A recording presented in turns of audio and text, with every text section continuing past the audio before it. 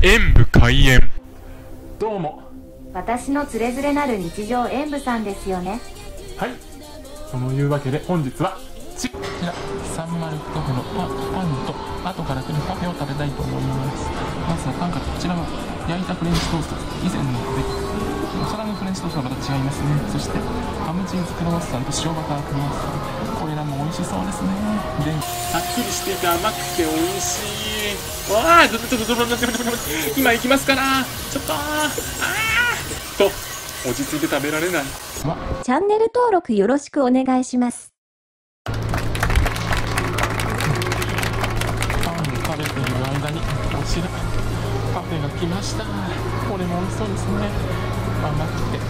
これも食べていきたいと思います。では私の大好きなバナナのパフェからいただきま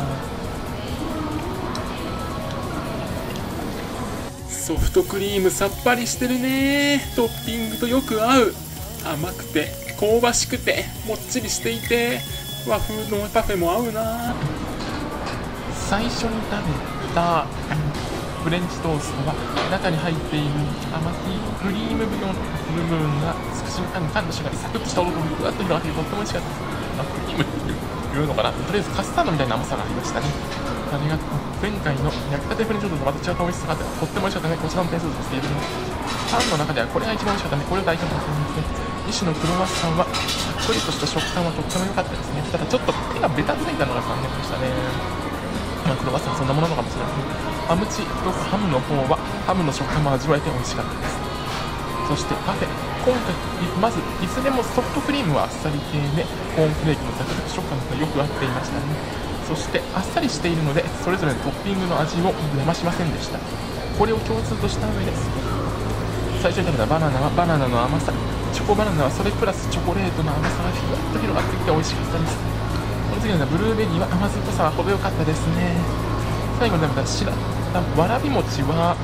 きな粉の香ばしさは良かったんですがわらび餅の種がちょっと足りないかな。ちょっとすんなり切れすぎているのはちょっと残念でしたね。でも美味しかったです。そして白玉小豆。これが一番お気に入りでした。です。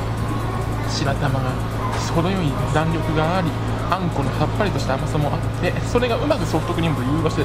甘い甘いで重ならないそんな美味しさがあって美味しかったです。これを代表としてこちらの点数とさせていただきます。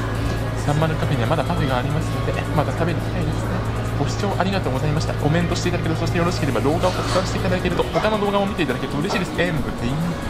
パソコンおよびスマートフォンのアプリの方はクリックをお願いします。